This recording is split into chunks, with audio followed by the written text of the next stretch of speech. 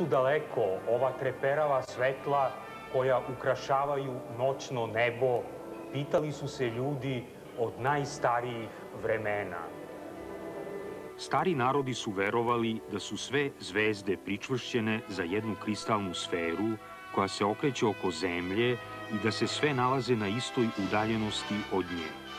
To je razumljivo, pošto mi na nebu vidimo samo projekciju lika nebeskog tela i određujemo položaj te projekcije.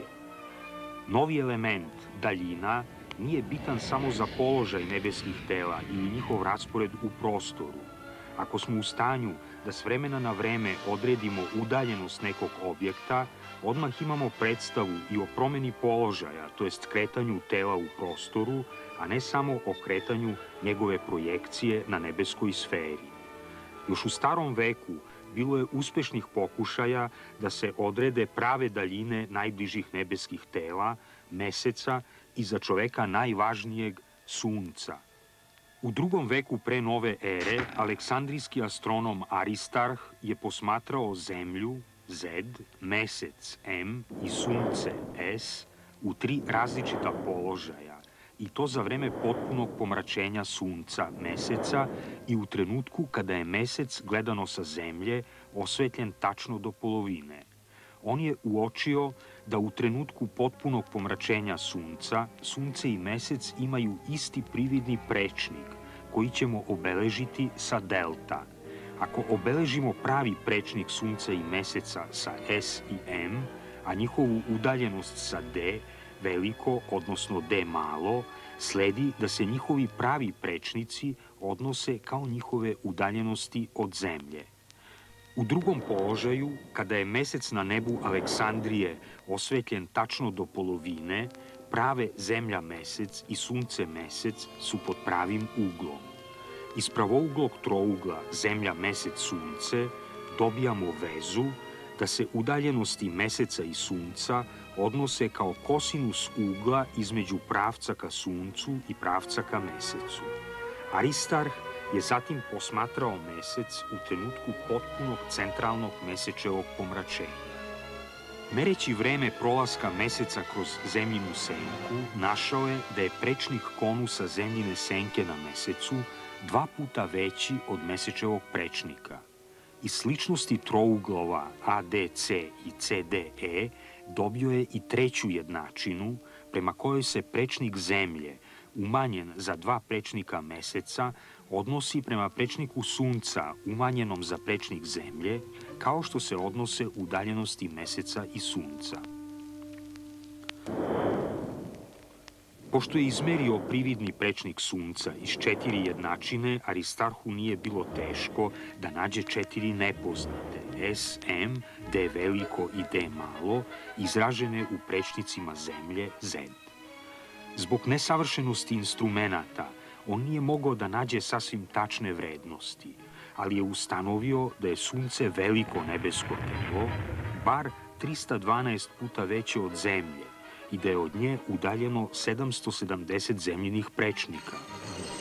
Po prvi put zemlja je došla na niži rang među nebeskim telima, pa je Aristarh mogao da shvati koliko je sunce veće i značajnije od nje.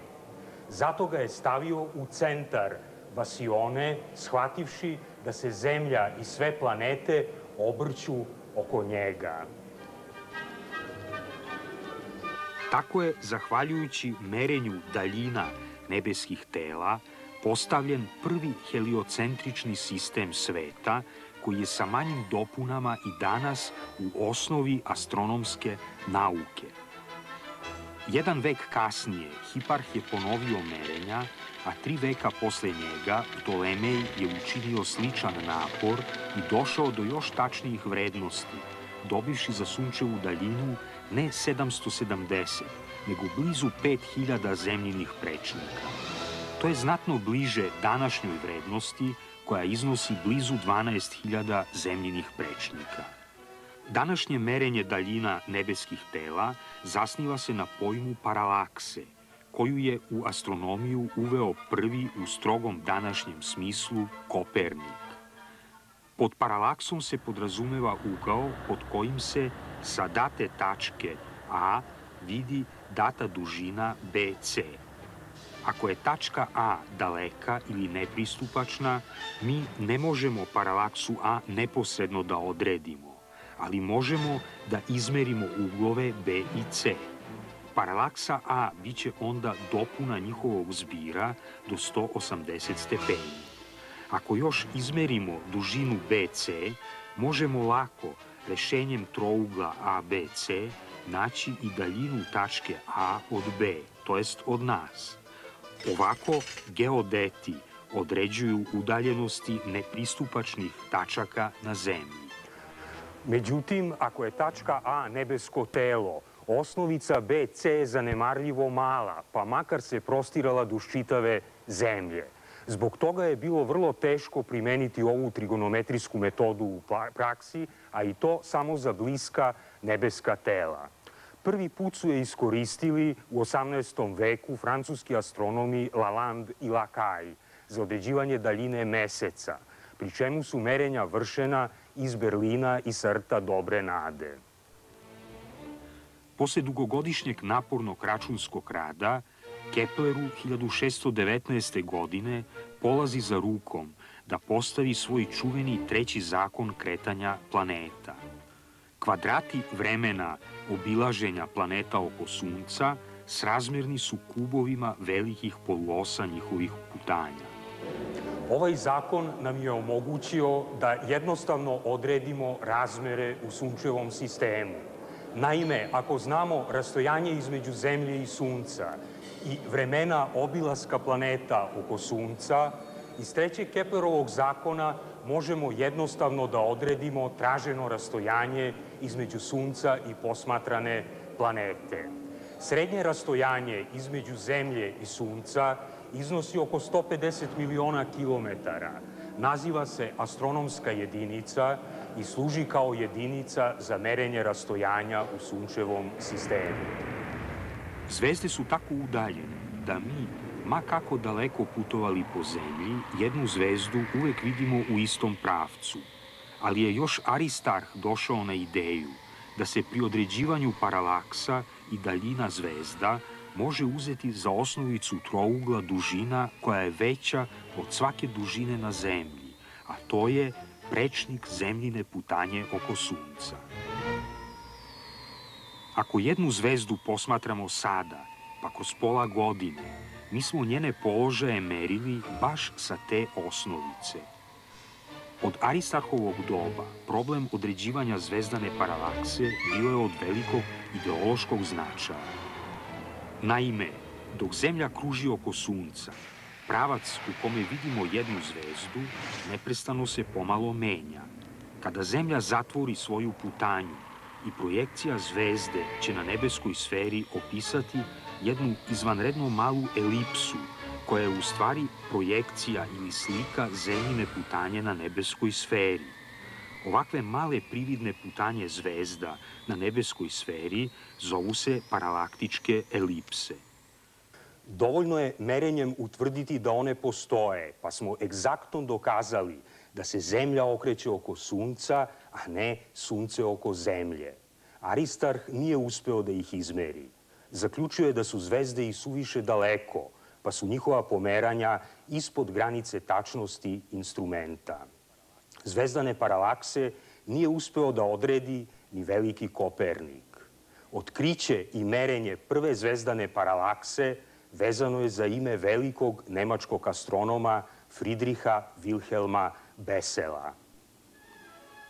Bessel je 1835. godine dobio heliometar koji je konstruisao Fraunhofer. Ovaj instrument je omogućavao merenje uglova do na 500 delova lučne sekunde. Godine 1837. Bessel je počeo težak posao određivanja paralakse, a odabrao je zvezdu 61 Cigni, zbog njenog velikog sobstvenog kretanja. Iz više stotina merenja, on oktobra 1838. godine za njenu paralaksu izvodi vrednost od 0,314 lučne sekunde sa greškom od 2 stota dela lučne sekunde, koja se malo razlikuje od današnje vrednosti od 0,299 lučne sekunde. Da bi bilo jasno šta je značilo odrediti paralaksu od trećine lučne sekunde, treba znati da se pod tri puta većim uglom od jedne lučne sekunde vidi prečnik ljudske vlasi na 60 metara golim okom.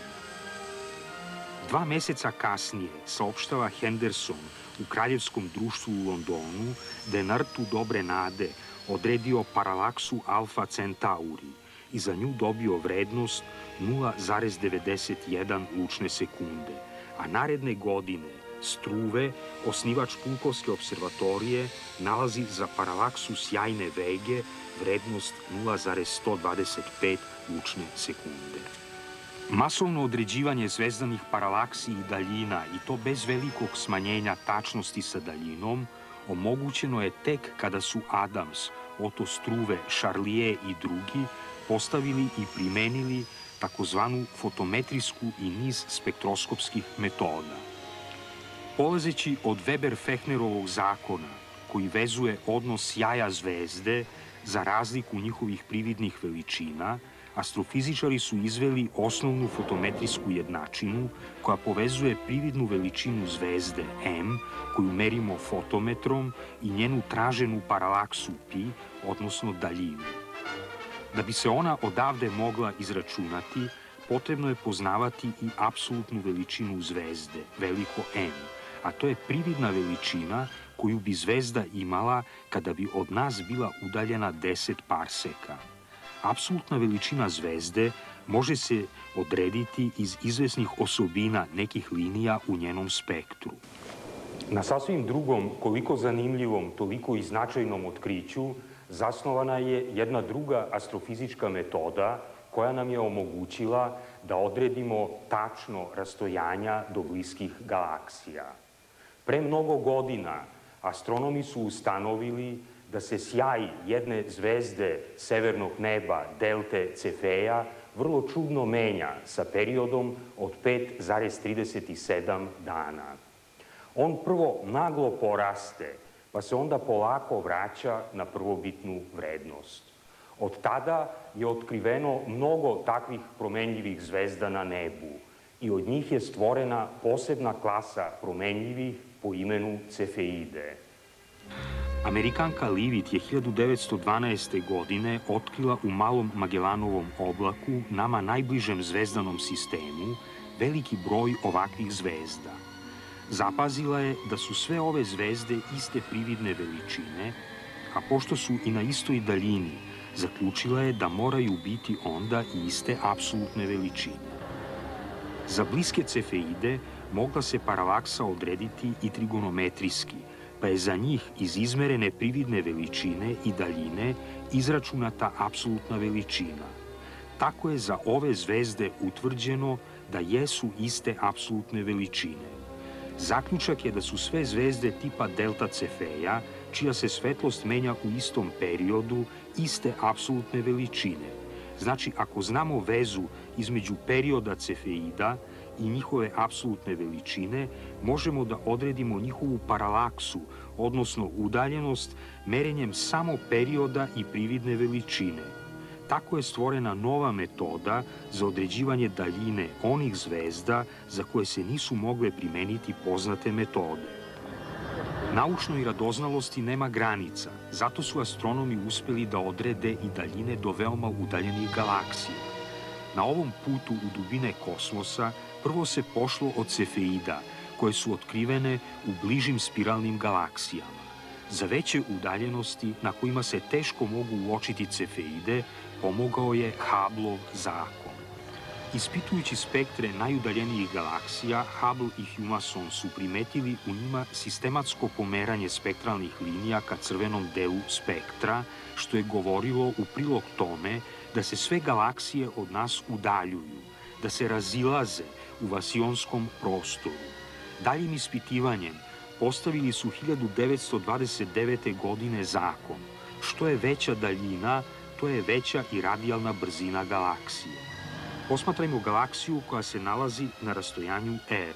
Ako ona emituje u spektralnoj liniji sa talasnom dužinom lambda 0, a mi svetlost detektujemo na većoj talasnoj dužini lambda, crveni pomak Z je definisan kao odnos pomaka talasne dužine delta lambda i talasne dužine na koje je svetlost emitovana lambda 0. Ako ovu promenu talasne dužine protumačimo kao pomak usled Dopplerovog efekta, zbog toga što se galaksija od nas udaljava brzinom v, brzina njenog udaljavanja će biti jednaka proizvodu crvenog pomaka z i brzine svetlosti c. Hubble je analizom crvenog pomaka kod galaksija čija su rastojanja od nas bila određena drugim metodama, recimo pomoću cefeida, ustanovio da postoji linearna veza između crvenog pomaka i daljine galaksije koju možemo napisati kao ZC jednako HR, pri čemu je H konstanta proporcionalnosti koja je dobila ime Hubbleova konstanta. Vidimo da odatle sledi i da je brzina udaljavanja galaksija linearno povezana sa njihovom daljinom. Ako pretpostavimo da je naš univerzum nastao iz jednog relativno malog i veoma zgusnutog jezgra, koje je posle velikog praska i Big Banga počelo ekspanziju koja i danas traje, Hubbleova konstanta dobija još jedno izuzetno važno značenje. Naime, ako usvojimo model koji je samo približan da se od velikog praska materija koja čini galaksije ravnomernom brzinom udaljava od nas, onda je put koji je ta materija prešla od trenutka velikog praska, kada je sva materija bila zajedno, pa do danas, dat poznatom relacijom koja kaže da je pređeni put jednak proizvodu brzine i vremena.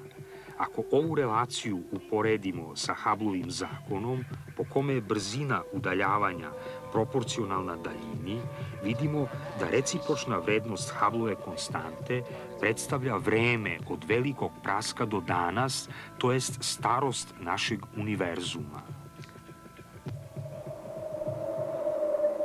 Dakle, koja je vrednost Hubbleove konstante? Osnovni problem je u tome što je mi ne poznajemo dovoljno tačno. Različite metode za njenu procenu daju vrednosti između 50 i 100 km u sekundi po megaparseku, što odgovara starosti vasione od 10 do 20 milijardi godina. 1990. godine lansiran je u kosmos džinovski teleskop sa ogledalom od 2,4 metra, kakvim bi se dičile i mnoge observatorije na Zemlji. On je dobio ime Hubbleov teleskop. Jedan od njegovih najvažnijih zadataka je da istraživanjem cefeida u dalekim galaksijama, kao i drugim metodama, utvrdi što preciznije vrednost Hubbleove konstante i na taj način nam omogući da saznamo tačne daljine i razmere u univerzumu kao i njegovu starost.